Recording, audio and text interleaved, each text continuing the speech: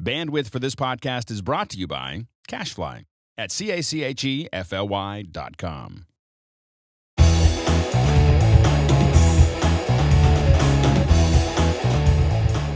Welcome back to MacBreak Studio. We're in the studio here today with Mark Spencer, and we're going to be discussing some of the new features of Final Cut Pro 10.1. Now, Apple made some significant enhancements to workflow, particularly with regard to media management and how your media gets organized into this new uh, library workflow. So, Mark's going to start us off by talking about the library model and how to work with it. And then over the ensuing weeks, we'll be looking at some of the other features, working with events, projects, and really kind of getting under the hood and the nitty gritty of some of these new workflow enhancements that have really will improve the way you're approaching your next project. Right, and very exciting. This is our first Final Pro 10.1 tutorial. So, you know, brand new version of the app with uh, some pretty significant changes. This is not just like a couple little improvements here and there. There's a sort of a big change to the overall architecture of how you work in Final Cut Pro now. So uh, you're going to actually walk us through the kind of the foundational yeah, structure just, of just get a sense of it. And, and in general, the themes there are two themes to this to this update to 10.1, and one theme is this whole new model for managing your media. Uh, and the second is the second theme is all of these editing workflow improvements and we'll get more to those. And those are fairly straightforward, but they're really great improvements that will that I think you guys will really uh, appreciate the ability to, to work faster and easier and do things you couldn't do before. But before that, you really got to get a handle on uh, what's called, what we're calling a unified library model, a single library. So I think the best way is just to take a look at it. Let's take a look. So this is what Final Cut Pro 10.1 looks like. And right away, uh, you might notice it looks a little bit different. In particular, down at the bottom left corner here, there is no icon for going to the project library. There's no more project library. There is no more project library. So, and that can be um, disorienting if you've been editing for the past two years in Final Cut Pro 10, because there is no more project library.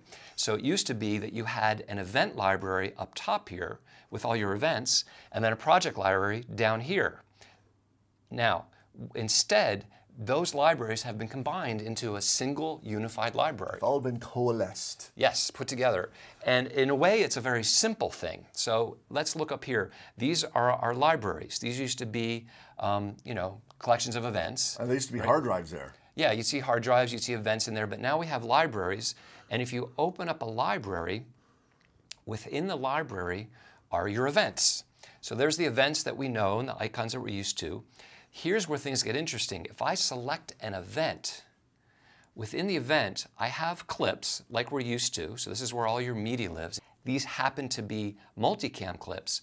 But in addition to our clips, we have the projects associated with those clips. So now projects are just another asset within the library. Exactly. So the hierarchy is basically that you have a library, within the library are events, and then within each event are the projects associated with that event. Now, you might immediately say, well, wait a minute, my project needs to use media from multiple events, and how can you force a project into a single event? Don't worry, right? Right? Don't worry. It, it, yeah, it really, once you get into understanding how this works, it's brilliant because Final Cut behind the scenes keeps track of everything. So if you add clips to a project from other events, or other it, libraries, or even. other libraries even, yeah. So what we didn't mention is you can have multiple libraries these libraries can live on any drive that you want. Um, each library can have as many events as you want, and each event can have as many projects. And you're free to mix and match, move projects between libraries, move clips from one library to another project, and Final Cut tracks it all. So um, we'll get much more into the details uh, in ensuing lessons and how this all works. But there are a couple of big implications about this model, okay? And one of the implications is if you're coming to Final Cut Pro 10.1 from an earlier version of Final Cut, there's an update process that you go through. Yes, right? absolutely. In fact, when you first launch Final Cut Pro 10, you're going to end up with a dialog that looks something like this. That's going to tell you you need to update your projects and events, okay? Um, this is not a um, inconsequential thing.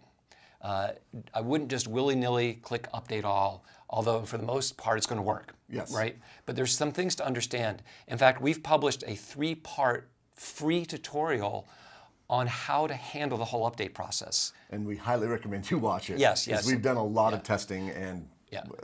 You just need you just need to watch it. Yeah, it. and it's, it's too long to, to cover in a MacBreak Studio because it's this three part, and each part is like 15 minutes long. Uh, so we go into a lot of detail. The reality is you could click update and you're probably going to be fine, but there's some things you can do to make the process go as smooth as possible. A little prep work to set things up, and just so you understand what's going to happen, because basically Final Cut's going to take all of your projects and events and fold them into a single libraries right, to make to make it work. And it does an amazing job of it, but it's just good to understand. So that's really the first implication is this dialogue and understanding what's going to happen when you when you update. Um, the other implication, I'm just going to cancel this update, is around importing media.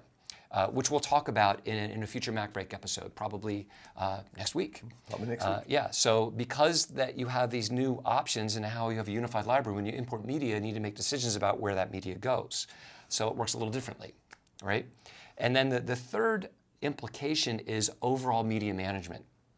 And this is where this new model, because at first you might say, okay, that seems pretty simple. All you did is move projects out of their own library into this library where the events are. Like, what's the big deal? But it really becomes clear when you get into media management, right? When you get into sharing your projects with others, or you want to move your all your media and your projects onto another drive. Or you want to archive your library. wanna archive. and, uh, Yeah. Set it on the shelf and pull it down later. you're working with a remote editor in another location and you just want to you want to get them to have the media and then you just want to send projects back and forth all of this stuff has been made much easier to understand and to execute with this new library model It's just fantastic. Um, the library model has just greatly simplified working with the media. In fact, you rarely even have to think about where your media is now in Yes. this new model. And we'll take you through. In fact, we have a whole um, in-depth training, Cut Pro 10.1 in-depth at rippletraining.com that uh, takes you in, in great detail to really grasp and understand this. Here, we're just trying to lay the basic foundation so you get an understanding of it. But in our training, we really go through exactly what those media management scenarios are like and how to work with Cut Pro 10.1.